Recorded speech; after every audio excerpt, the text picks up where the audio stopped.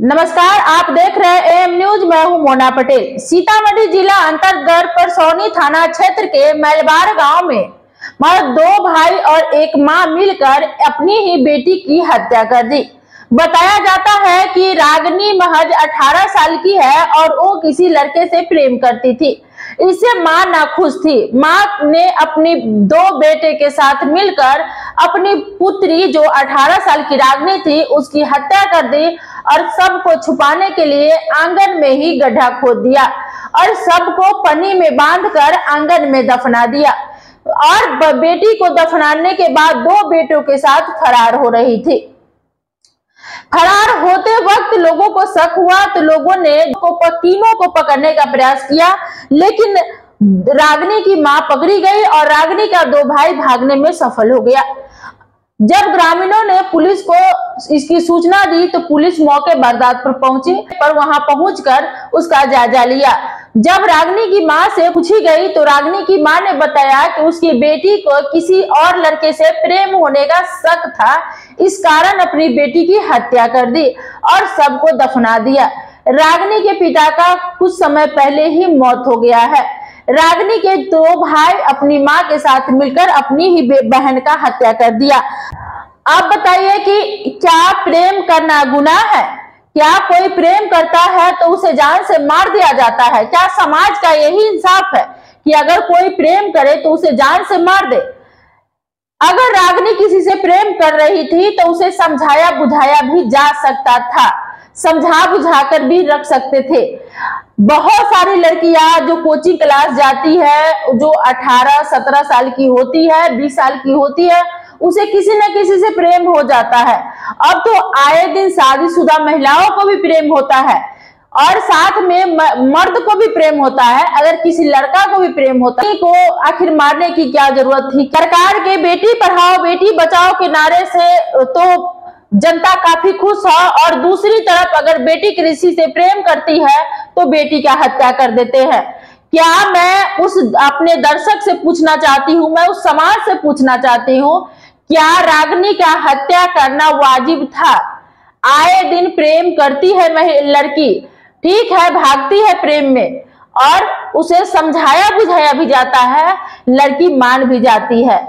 कुछ समय पहले मैंने भी ऐसे तीन चार मामलों में देखा है, लड़की आई है छह सात महीने से, अच्छी तरह से फिर से पढ़ाई कर रही है। लड़की कहाँ खराब हुई है? क्या प्रेम करना जुर्म है? अगर जुर्म है तो प्रेम को क्यों पनपने दिया जाता है? हर आदमी प्रेम करता है। प्रेम को कौन बढ़ावा देता है? उस पुलिस प्रशासन से भी मैं सवाल करना चाहती हूँ कि आपकी आँखों के सामने आए दिन इस प्रकार की घटना घटता है? आखिर क्यों घटता है? अगर कोई माँ अपनी बेटी को मार देती है तो क्या जन्म दे देता है तो उसको मारने का भी अधिकार मिल जाता है? पुलिस इस मामले की सख्ती से कार्रवाई अगर करे तो इस प्रकार की घटना नहीं घटेगी। और मैं उस लड़के लड़कियों को भी कहना चाहती हूँ कि जब आपकी उम्र छोटी है, जब आप 16 से 20 साल के हैं तो क्या प्रेम करना ज़रूरी है?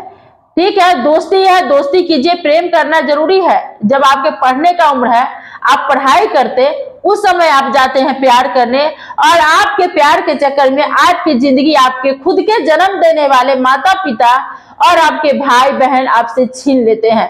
इस प्रकार आप प्रेम न करें। जो घटना आज रागनी के साथ घटा है, वो आपके साथ भी घट सकता है।